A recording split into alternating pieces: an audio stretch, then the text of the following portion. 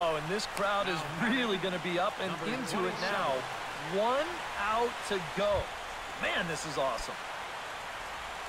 Number 27 will stand in here as the 27th and many hope final batter in this masterful performance.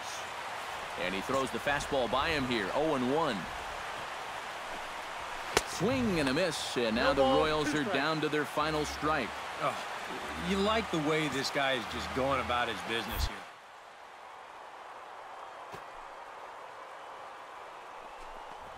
Swing and a miss. He's done it. A perfect game. But that is absolutely dominant. I mean, what else could you say? 27 up, 27 down. And you know what? This is the first time I've ever witnessed a perfect game. So it's one of the hardest things for a pitcher in the world to do, probably the hardest. But we were fortunate enough to see it here, guys.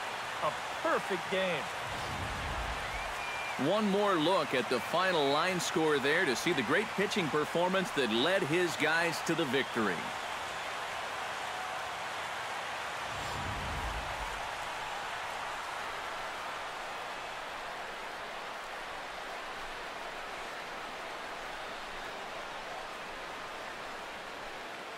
Well, you don't have to look too far to find our tops player of the game. I'd say anytime you throw a perfect game, you'd be a pretty strong candidate. Yeah, I'll say he's a pretty good candidate.